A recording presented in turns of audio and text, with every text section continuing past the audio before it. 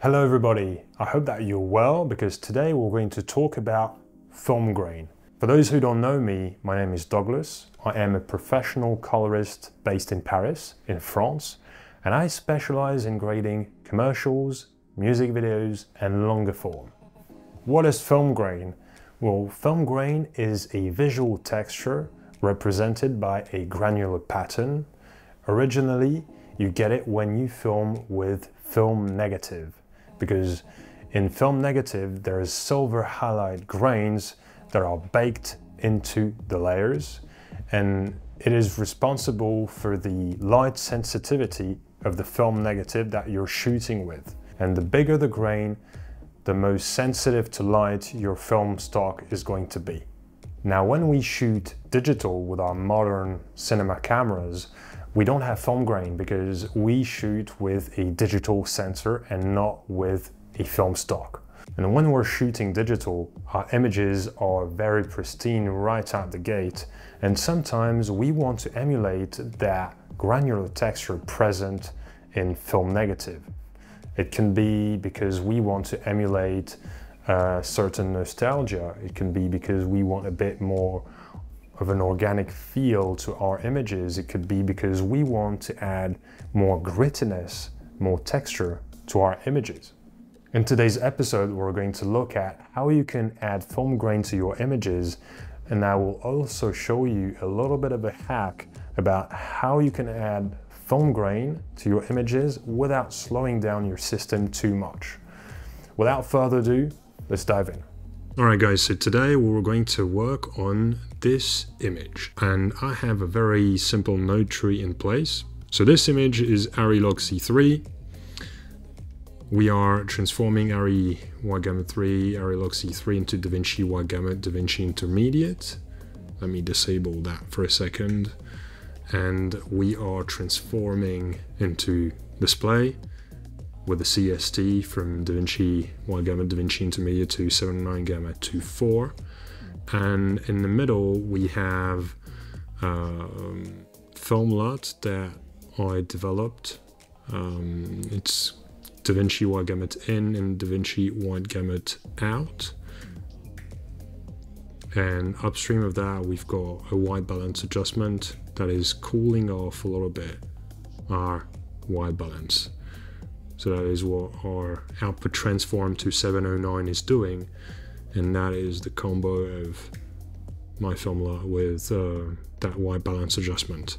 But today we're not really going to talk about log development. We're going to talk about film grain. So the easiest way you know how to add film grain is to use the Resolve film grain OFX and I'm going to prepend a node here before my LUT. and I'm going to go into my OpenFX and type in grain. I'm going to drop that into this node. And all of a sudden, you see that the texture of my image is changing. Let me actually zoom in a little bit for you. You see that that is before my film grain adjustment. That is after. Let me actually open it so we can just play with some of the parameters and I'm going to crank my grain strength like that so you can see it better over YouTube. So as before my film grain adjustment, that's after. Okay, so let's zoom out of this and let's hit play. Generally speaking, I would place my grain node before my LUT or look stack because if you place your film grain adjustment after your output transform, it's going to look a bit less natural and organic. It's going to feel a little bit more, okay, we've slapped grain on top of our image. And if you place it before your look stack, it's going to feel a little bit more organic, okay? As a general rule of thumb. And if I open my effects panel again, you see that we've got, let me circle that for you there. So we've got texture, grain size, grain aspect ratio, grain strength, offset, symmetry, softness, saturation. We've got several sliders that we can play with. Okay, so texture is going to be, let me adjust that with the panel because it's going to be a bit more um, convenient for me. Uh, so yeah, texture, it's going to play a little bit with a textural aspect of our grain. We've got the grain size, it speaks for itself, so it makes your grain bigger. I'm going to exaggerate it for YouTube here. So you see, you can play with that. Uh, aspect ratio, grain strength, if you want it to feel a little bit more present and accentuate the effect, you can crank that up, okay? And also saturation is a slider I often like to play with because it will add a little bit of saturation to your grain. And if you shoot, if you were to shoot with film negative, with color film negative, you would have a little bit of color into your grain as well. So that could be a way to emulate that, okay? So that is the resolve film grain. And lastly, I would point out that you have your film grain presets, which are here, okay? And you have different presets. You can go 35 millimeter and your grain will become a bit thinner. You could go 16 millimeter and your grain is going to be a little bit bigger. You have presets that you can play with. So that is a way that you can add film grain. And now in order to illustrate a little bit of the next thing that I wanted to show you, I mean, today I'm not working with my usual machine because I had to send it to repair. Uh, so I'm working on a less beefier system. And you see that, I mean, I have my screen recording taking place here as well, but I don't have a real-time playback. See, I have 20 frames per second right there. So that is because the Resolve OFX has to generate that grain pattern and it requires my machine to calculate and tax my system a bit more. And the trick I'm going to show you today is going to lessen the burden on your system. Let me reset that node and now I'm going to go on my desktop and I'm going to select that print matte. Going to right click and go add to media pool as a matte. And that is populating my matte folder here. I'm going to go back into my color page. I'm going to go into my media pool folder and see that my grain matte is here. I'm going to drop it on my canvas right there. I'm going to then create a layer node right there. You can press Command L if you're on a Mac or Alt L if you're on a PC, I believe. And I'm going to change my blending mode to soft light. And yeah, my image looks a bit funky, but I'm going to unpipe that and actually pipe my grain layer into that node. And there we go, we've got some grain going on here. And you see that my playback frame rate sits at 25 frames per second here, see? So there you go. I mean, that's a way to actually, another way to work with grain, which puts less burden on your system. And I'm going to label that node adjust. And I'm going to show you something. If I set my pivot point to 0.5, so let me enter that manually, 0.5, yeah.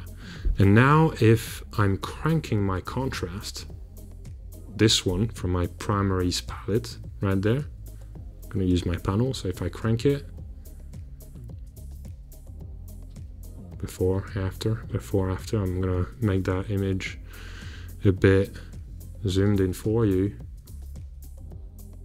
before after before after so this is before my contrast adjustment this is after, before, after. You see that you can have effect on the strength of the grain by playing with your contrast.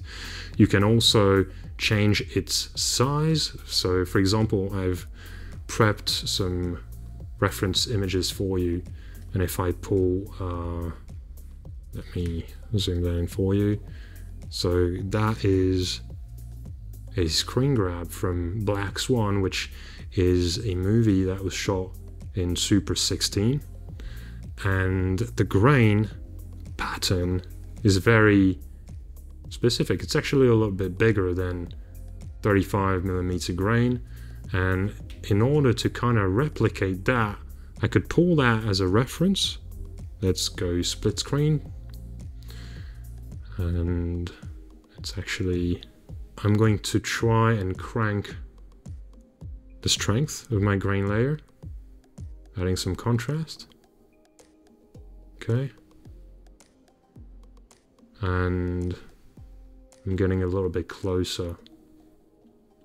Uh, if you want to see that over YouTube, you need to set the resolution of this video to the max, uh, so 4K, if you can. Otherwise, the YouTube algorithm and compression is going to completely kill the texture. Uh, and I don't necessarily need to adjust the size here, but if I wanted to, I could go into my sizing tab, which is right here. Let me circle that for you. Uh, but I'm accessing it with my panel for speed. Then I'm going to go into my node sizing and I can zoom in to my grain layer. See? I'm going to exaggerate it. But this is increasing the size of my grain. So let me reset the sizing before, after, before, after. And let's hit play. And see, real-time playback. And it looks gorgeous. It's of course going to impact your playback performance, but it's also going to impact your export performance. So you're going to export your files faster using this technique than an OFX that has to calculate each frame and grain pattern when you export. So to summarize, I'm adding my grain before my look stack and in a logarithmic space and that will help my grain to feel a little bit more organic. So that's, let me go full screen for a second. So that's before, that's after. Before, after grain, let's play it full screen. Hopefully the strength is enough for you to see on YouTube. And lastly, because you might not have a grain plate, you can generate one. You can, it's actually, let's do it together. So I'm going to go into my effects tab, in my media tab, I'm going to, uh, doesn't really matter, but let's go for a solid color, turn it into a compound clip so that it can appear right there. And I'm then going to drop my film grain here. I'm gonna go grain only. And see, it's kind of just showing the grain plate. So let's say I want to go 35 millimeters so that I could have the option to augment the size later. 35 and now I'm going to export that, just that bit. So now I'm going to go into my export tab. I guess I'm in HD. Yeah, you can turn it into 4K if you desire. I mean, I would actually recommend you to do that, but and now I'm going to export it on my desktop. And now I'm going to call it film grain